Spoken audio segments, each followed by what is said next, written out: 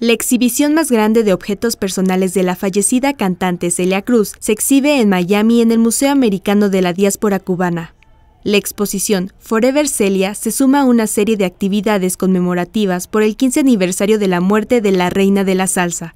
La muestra incluye algunos de sus trajes más llamativos, zapatos, docenas de premios, videos, música e innumerables objetos de su colección personal. Pues la exhibición Forever Celia está dividida obviamente en sus seis épocas profesionales, los 50, 60, que tuvo una presencia en México muy grande, 70, el viaje a África, que marcó un antes y un después de ese viaje a África de Celia,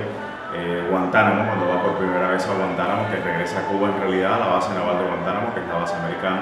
después los 80, los 90,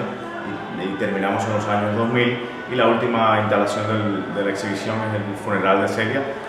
y su legado. También se puede observar el primer contrato que firmó con el famoso Hollywood Palladium de Nueva York, libros y fotografías inéditas, así como una reproducción a escala de su despacho privado. La exhibición supera la muestra montada en el Museo Smithsonian en 2005 sobre la vida de la cantante, que luego se exhibió en el Museo Bass en Miami Beach. Con información e imágenes de Pablo Tonini, corresponsal en Miami, Notimex.